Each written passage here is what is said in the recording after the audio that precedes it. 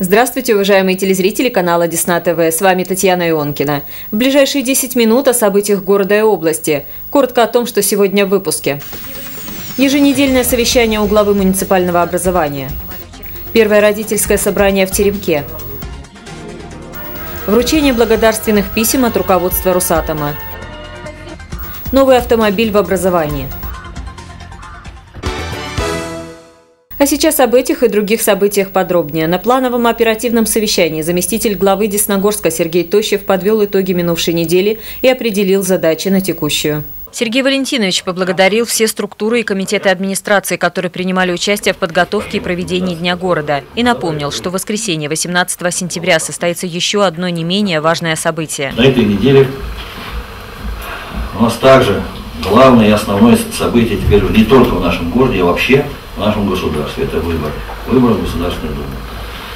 Задача нашей администрации – обеспечить условия для волеизъявления граждан. Председатель ЦИКа Максим Иванов рассказал о готовности десногорцев к выборам. Представлены два типа бюллетеней. Один – это политические партии, соответственно, которые будут представлены в государственном, другой – это а, так называемые одномандатники, то есть те кандидаты, которые будут идти по одномандатному избирательному округу. Десногорск входит в одномандатный избирательный округ номер 176. У нас 10 кандидатов по 176 округу.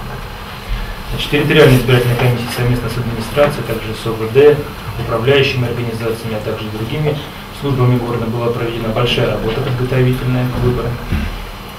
Участковая избирательная комиссия сформирована предоставлены помещения, средства связи, всем оборудование необходимое. В городе уже началась вакцинация населения против гриппа, а отдел социальной защиты населения приглашает неработающих пенсионеров на обучение компьютерной грамотности. Записаться в отделе социальной защиты населения или обратиться в свои советы ветеранов до 23 сентября. Управляющие компании подготовили город к зиме. Завершен ремонт центральных дорог города и активно ремонтируются дороги внутри микрорайонов. На спортивной базе Главного управления МЧС по Смоленской области в поселке Красный Бор состоялись областные лично-командные соревнования по пожарно-прикладному спорту на Кубок памяти Алексея Георгиевича Капустина. Эти соревнования проводят уже более 20 лет. В этот раз спортсмены преодолевали 100-метровую полосу с препятствиями и штурмовали учебно-тренировочную башню. Победителями в общекомандном зачете стали наши десногорцы.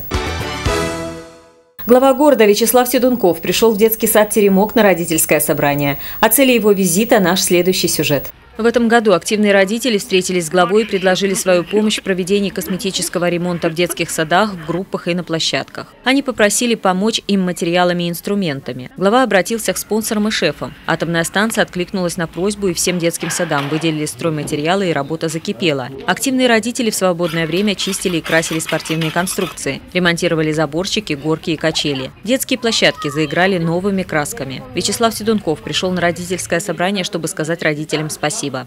Есть э, общее наше с вами участие и общее наше с вами достижение. Здесь я хотел бы высказать, конечно, слова благодарности всем активным родителям, которые принимали в этом участие.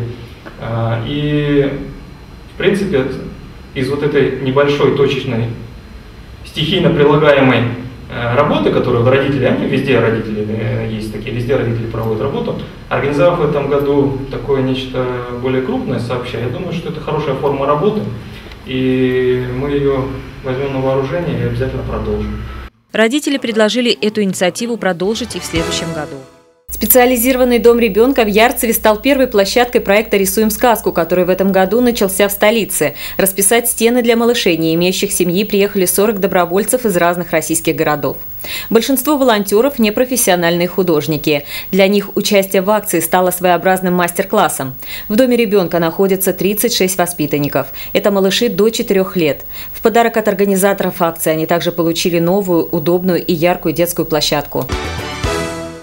Участники социального проекта «Слава Созидателям» в торжественной обстановке получили благодарственные письма от главы Росатома Сергея Кириенко. Церемонии награждения прошли во всех школах Десногорска. С июня в Десногорске работал проект «Слава Созидателей». Для участия в конкурсе школьники должны были снять видеоинтервью с представителями старшего поколения, для того, чтобы увековечить историю создания нашего города и Смоленской АЭС. За эти несколько месяцев ребята отсняли более 200 роликов. 5 сентября руководство города и представители Смоленской АЭС вручили героям видеороликов именные письма от госкорпорации «Росатом». Дипломами и памятными подарками от городского попечительского совета наградили детей, которые снимали фильмы. Тот материал, который ребята сняли за время проекта «Слава Созидателям», войдет в историю не только нашей школы, города, но, наверное, всей нашей страны.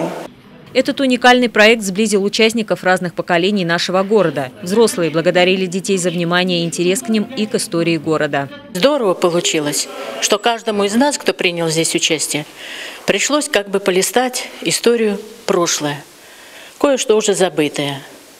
И поэтому проделана очень большая работа в рамках этого проекта. Школьники получили массу позитивных впечатлений от общения и при этом попробовали себя в новом профессиональном качестве. Мне это дало массу впечатлений. Я попробовала себя в творческом конкурсе «Слава Созидателям».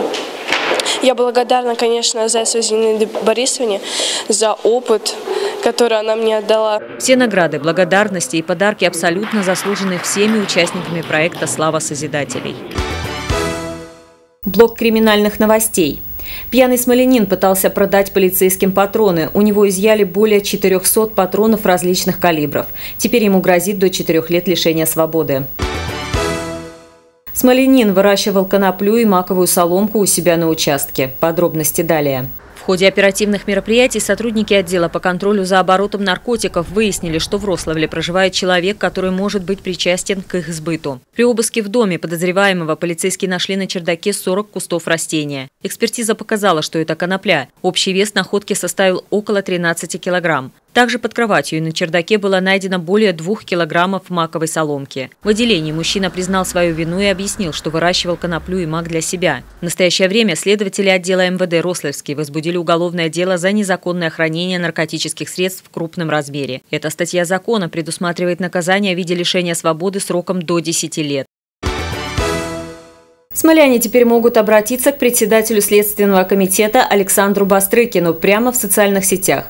Для того, чтобы потерпевшие от преступлений люди смогли пообщаться с ним напрямую, он создал в Facebook и ВКонтакте личные страницы. Ссылки на эти аккаунты также размещены на странице Александра Бастрыкина на официальном сайте Следственного комитета России.